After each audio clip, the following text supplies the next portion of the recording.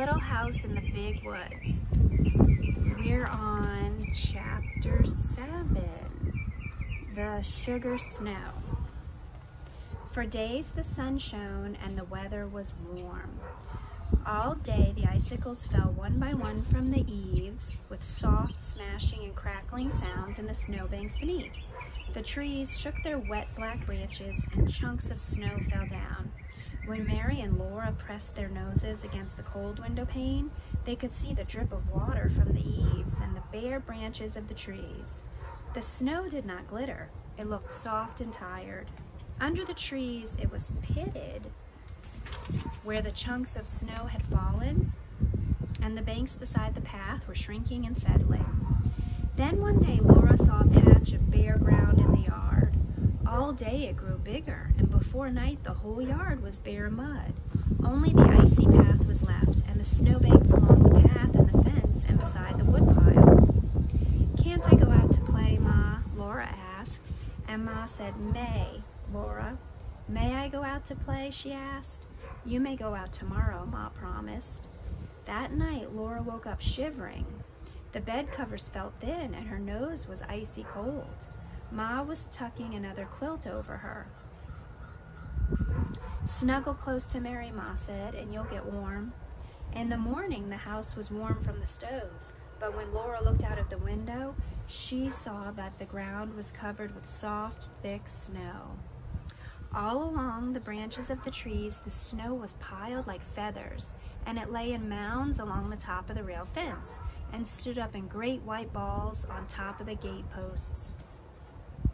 Pa came in shaking the soft snow from his shoulders and stamping it from his boots. It's a sugar snow, he said. Laura put out her tongue quickly to a little bit of the white snow that lay in a fold of his sleeve. It was nothing but wet on her tongue like any snow. She was glad that nobody had seen or tasted. Why is it a sugar snow? she asked him, but he said he didn't have time to explain now. He must hurry away. He was going to Grandpa's.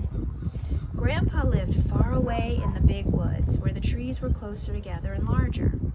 Laura stood at the window and watched Pa, big and swift and strong, walking away over the snow. His gun was on his shoulder, his hatchet and powder horn hung at his side, and his tall boots made great tracks in the soft snow. Laura watched him till he was out of sight in the woods. It was late before he came home that night. Ma had already lighted the lamp when he came in. Under one arm he carried a large package, and in the other hand was a big covered wooden bucket. Here, Caroline, he said, handing the package and the bucket to Ma, and then he put the gun on its hooks over the door. If I'd met a bear, he said, I couldn't have shot him without dropping my load. Then he laughed. And if I dropped that bucket and bundle, I wouldn't have had to shoot him. I could have stood and watched him eat what's in them and lick his chops. Ma unwrapped the package, and there were two hard brown cakes, each as large as a milk pan. She uncovered the bucket, and it was full of dark brown syrup. Here, Laura and Mary, Pa said, and he gave them each a little round package out of his pocket.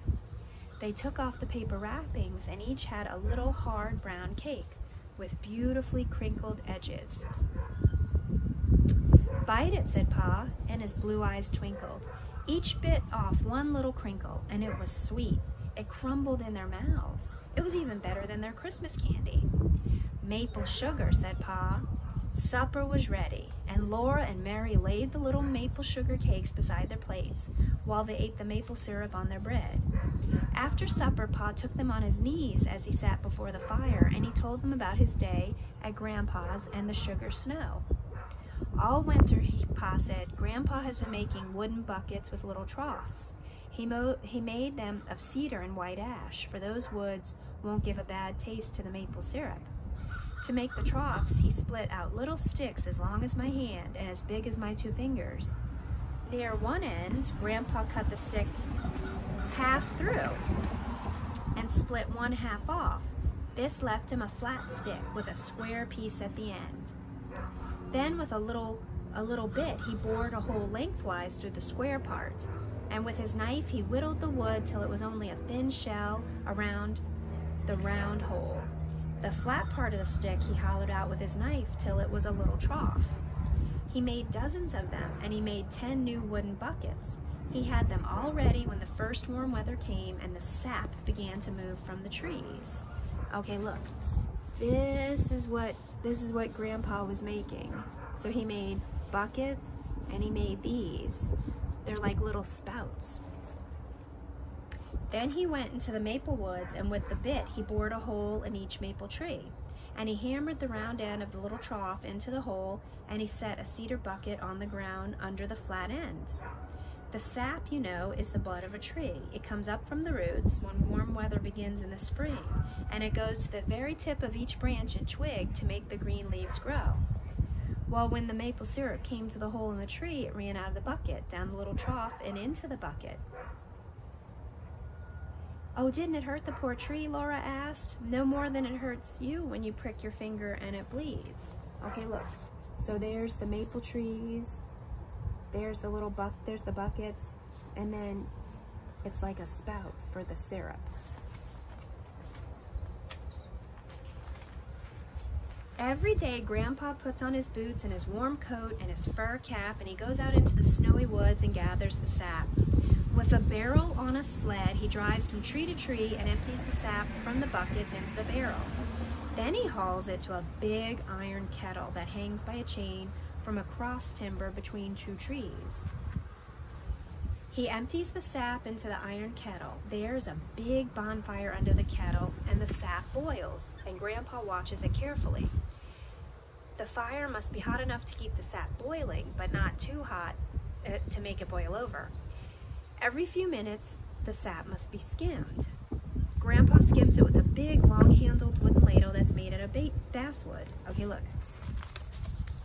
There's Grandpa pouring the sap into the big barrel. Look, there's, and look, there he is over the fire. When the sap gets too hot, Grandpa lifts ladlefuls of it high in the air and he pours it back slowly. This cools the sap a little and keeps it from boiling too fast. When the sap has boiled down just enough, he fills the bucket with syrup. After that, he boils the sap until it grains when he cools it in a saucer. The instant the sap is graining, Grandpa jumps to the fire and rakes it all out from beneath the kettle. Then, as fast as he can, he ladles the thick syrup into the milk pans that are standing ready. In the pans, the syrup turns to cakes of hard brown maple sugar. So that's why it's a sugar snow, because Grandpa's making sugar?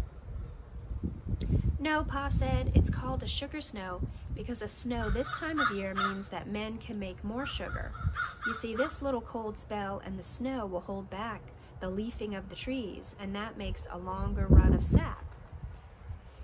When there's a long run of sap, it means that Grandpa can make enough, enough maple sugar to last all year for common every day. When he takes his furs to town, he will not need to trade for much store sugar. He will only he will get only a little store sugar to have on the table when company comes. Grandpa must be glad when there, there's a sugar snow, Laura said. Yes, Pa said. He's very glad. He's going to sugar off again next Monday, and he says we must all come. Look, see, there he is.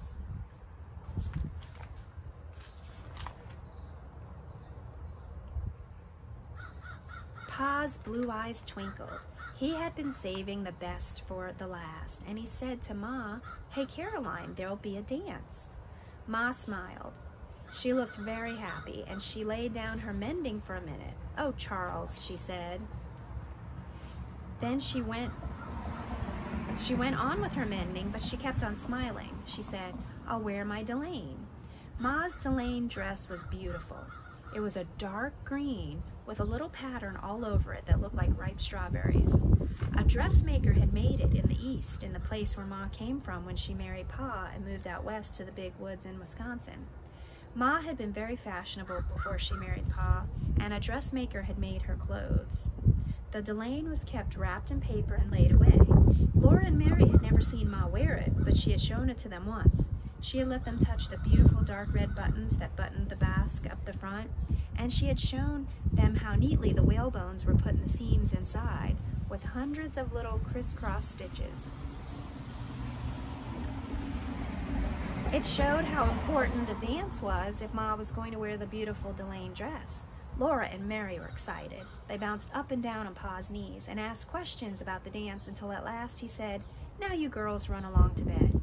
You'll know about the dance when you see it. I have to put a new string on my fiddle. And look, there's the oil lamp and Pa's fiddle and the cat sleeping. There were sticky fingers and sweet mouths to be washed. Then there were prayers to be said. By the time Laura and Mary were snug in their trundle bed, Pa and the fiddle were both singing while he kept time with his foot on the floor. I'm Captain Jinks of the Horse Marines. I feed my, ho my horse on corn and beans, and I often go beyond my means. From Captain Jinks of the Horse Marines. I'm captain in the army. All right, I'm gonna stop. I'm gonna stop right here. Next chapter is the dance at Grandpa's, but I'm gonna use I'm gonna use the bookmark and save the spot. I like it. I still like it. Thank you for sticking with me, first graders. I know it's a long book. Look how long. And we're um, on page 130. So we still have like 100 more pages to go, but it is a good book. Have a great day.